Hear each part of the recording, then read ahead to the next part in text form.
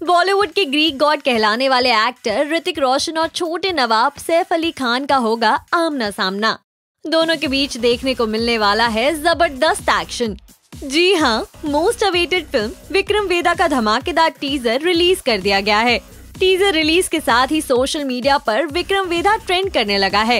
Action से भरपूर film का ये टीजर काफ़ी दमदार है। ऋतिक रोशन और सैफ अली खान फ़िल्म में एक दूसरे को कड़ी चुनौती देते नज़र आ रहे हैं। टीजर में एक और काफ़ी बेहतरीन डायलॉग सुनने को मिलते हैं। तो वहीं दूसरी ओर ऋतिक रोशन और सैफ अली खान अपने अपने किरदारों में काफ़ी जच रहे हैं। वेल, टीजर ने आते ही धमाल मचा दिया है। ये शानदार टीजर एक कंप्लीट एंटरटेनमेंट का वादा करता है। इससे ऐसा लगता है कि फ़िल्म बॉक्स ऑफ़िस पर डबल धमाल मचा सकती है। गौरतलब है कि ऋतिक रोशन और सैफ अली खान की फ़िल्म इसी नाम की साउथ इंडियन फ़िल्म की रीमेक है।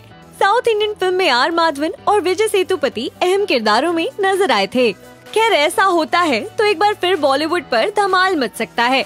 वेल, आपको टीजर कैसा लगा? इस पूरी खबर पर आपकी क्या राय है? फ़िल्म के लिए कितने एक्साइटेड हैं आप? नीचे कमेंट करके ज़रूर बताइए। Also do like follow subscribe to Bollywood now on Facebook Instagram and YouTube